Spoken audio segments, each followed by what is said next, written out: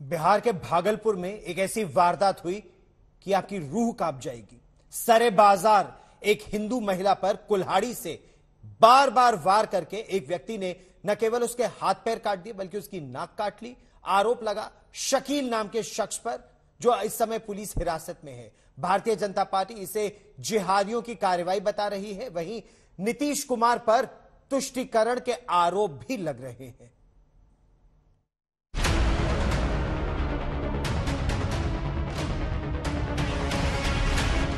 बिहार के भागलपुर में दिल्ली जैसी दरिंदगी। भरे बाज़ार, हिंदू महिला के हाथ पैर काटे।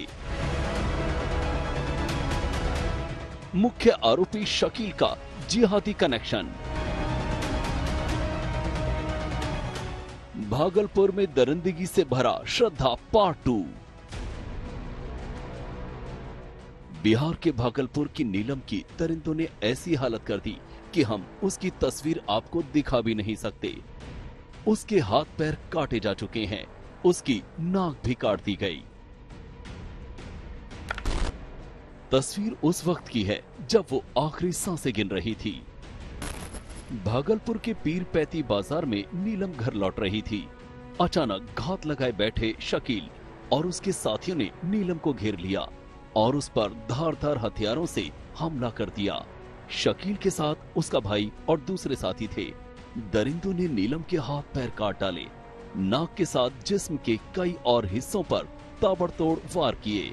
नीलम लहूलुहान बाज़ार में ही गिर पड़ी। बाद में उसकी मौत हो गई। पैदल आ रही थी।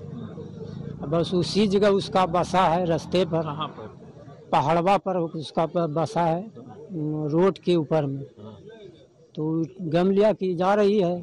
बस पीछे पीछे आकर के पहले पीठ पर झबिया चलाया। उसके बाद माथा पर मारा तो ये गिर गया। गिरने के बाद दोनों हाथ काट दिया। इसमें भोग दिया। दोनों स्तन को काट दिया। बिहार में इस कांड को लेकर खासी सरगर्मी है।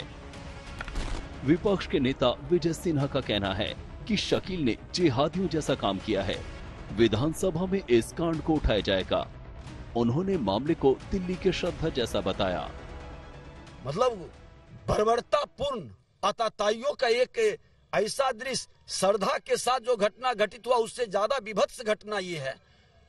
इस तरह की घटना का और दुर्भाग्य है कि आज वोट और तुष्टिकरण की राजनीति में कुछ लोग इसको चापने में लगे हैं।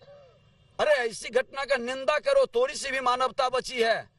और टॉप शिखर पर बैठ करके संरक्षित मत करो धर्म के नाम पर जाति के नाम पर मत खेलने का प्रयास करो। पुलिस ने मुख्य आरोपी शकील को गिरफ़्तार कर लिया है। उसके साथी भी पकड़े गए। डीआईजी का कहना है कि एफएसएल की टीम ने मौके पर कई सबूत जुटाए हैं। खून से सने कपड़े से लेकर कत्ल में इस्तेमाल कुल्हाड़ी और दूसरे हथियार बरामद कर लिए गए। इस घटना में एक कुल्हाड़ी बरामद की गई है शकील मियाँ के बासा से। जहाँ पे कि अपना माल मवेशी वगैरह लोग रखते हैं और उसी कुल्हाड़ी से हत्या उन पर, महिला पर वार करने की बात बताई जाती है, जिसके निशान मिले हैं। और एफएसएल की टीम को भी बुलाया गया है, जो पीओ और सारे मर्डर वेपन वगैरह का जाँच कर रही है। शकील समेत सभी आरोपियों को कानून सजा देगा, लेकिन जिस दरिंदगी के साथ वारदात को अंजाम दिया गया है, वो कई सवाल छोड़ गया। भागलपुर से निवास मोदी के साथ पटना से रोहित सिंह आज तक।